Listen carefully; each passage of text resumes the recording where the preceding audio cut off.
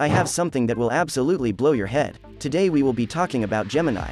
Now what is Gemini? Gemini is Google's newest project in the field of large-scale language processing, and it is poised to completely revolutionize the industry. It is seriously next-level stuff, rivaling ChatGPT and mighty GPT-4 in terms of understanding and generating natural language. Trust me, you won't want to miss this one, so make sure you watch the entire video.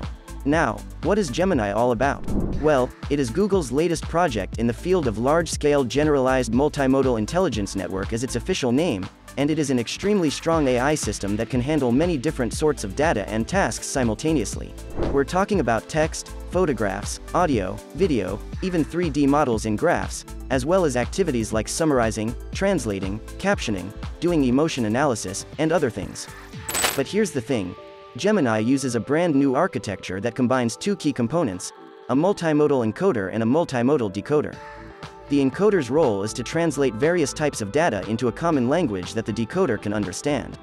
Gemini isn't just one single model, it's an entire network work of models all cooperating to deliver the best results possible. Then the decoder takes over, producing outputs in various modalities based on the encoded inputs and the task at hand. For example, if the task is to create a caption for an image, the encoder would turn the image into a vector that captured all of its features and meaning, and the decoder would then produce text that describes the image. First off, Gemini is just more adaptable, it can handle any type of data and work without the need for specialized models, which distinguishes it from other large language models like GPT-4 and makes it unique. In comparison to other models that are trained on specific domains or tasks, Gemini can tackle new and unseen scenarios much more efficiently because it can learn from any domain and dataset without being constrained by predefined categories or labels. There's also the fact that Gemini is just more efficient in general because it uses less computational resources and memory than other models that must deal with multiple modalities separately and also uses a disjoint architecture. If we talk about size and complexity, one of the most common things people look at to measure a large language model is its parameter count. Basically, parameters are numerical variables that serve as the learned knowledge of the model, enabling it to make predictions and generate text based on the input.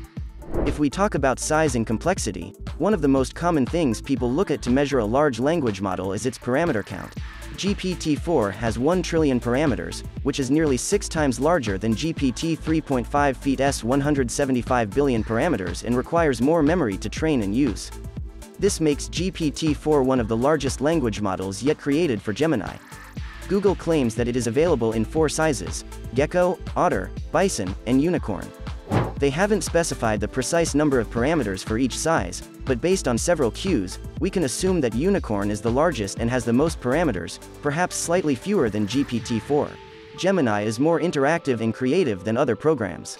It can produce outputs in a variety of formats based on the user's preferences, and it can even produce novel and varied outputs that aren't constrained by pre-existing information or templates.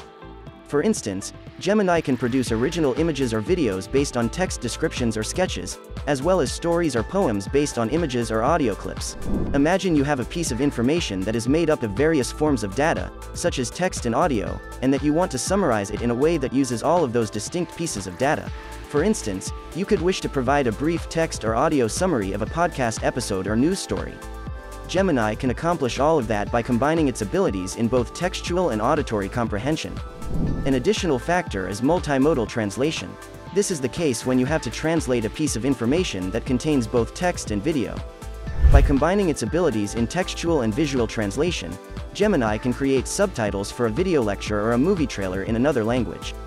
There is also multimodal generation, which is used when you need to create a piece of information in more than one format that incorporates a variety of data formats, including text and photos.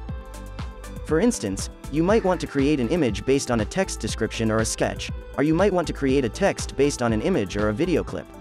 Gemini can accomplish this by combining its abilities in textual and visual generation, but multimodal reasoning, basically, the ability to combine data from various tasks and data types to form assumptions, is what I find to be the most impressive Gemini capability. What does this mean for the future of AI? Well, it seems pretty clear to me that Google is likely going to give GPT-4 and perhaps even GPT-5 a real challenge in the coming years with this multimodal approach. Honestly, I'm seriously blown away by that. These are just a few things Gemini can do. That's it for today, please share and subscribe to the channel for more related videos.